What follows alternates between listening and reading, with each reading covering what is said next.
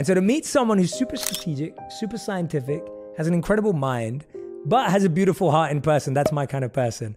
And today's guest is none other than Andrew Huberman. He's a neuroscientist and tenured professor in the Department of Neurobiology at the Stanford University School of Medicine. He has made numerous significant contributions to the fields of brain development, brain function, and neuroplasticity, which is the ability of our nervous system to rewire and learn new behaviors, skills, and cognitive functioning.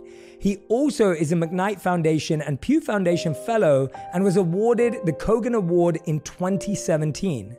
Work from the Huberman Laboratory at Stanford School of Medicine has been published in top journals, including Nature Science and Cell, and has been featured in Time, BBC, Scientific American, Discover, and other top media.